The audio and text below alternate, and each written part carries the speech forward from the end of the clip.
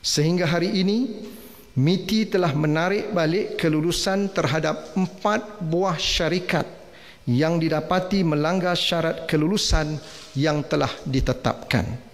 Siasatan juga sedang dijalankan oleh JTK Semenanjung Malaysia dan PDRM terhadap 35 syarikat yang telah dilaporkan melanggari syarat-syarat yang telah ditetapkan oleh MITI.